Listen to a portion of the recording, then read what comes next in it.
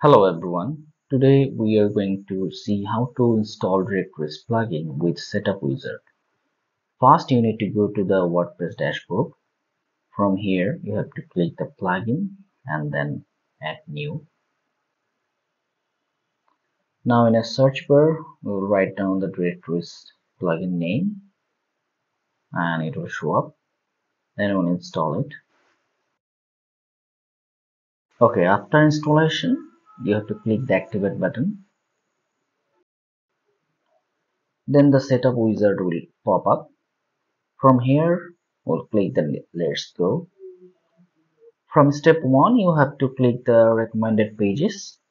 So I will select all of them. Then continue. In step 2 uh, it will show us the map section uh, from here you can see we have two map options. One is OpenStreet another is Google. So if you select Google it will ask for the API key. So if you have you can put it here and you can continue. Or if you don't have you can select OpenStreet. And if your website has the monetization option you can enable that feature. You can change the price in here. Then continue. So in step 3 it will show us the dummy data. So if you want you can input the dummy data including the images. So i'm doing it. So it will take just some few seconds to load the data in your website.